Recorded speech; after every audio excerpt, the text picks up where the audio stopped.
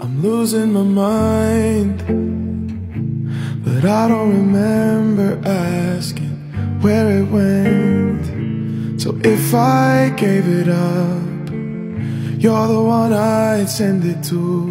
Is it a sign? I feel like I'm losing something with no regrets. So if I gave a fuck, you're the one I'd send it to.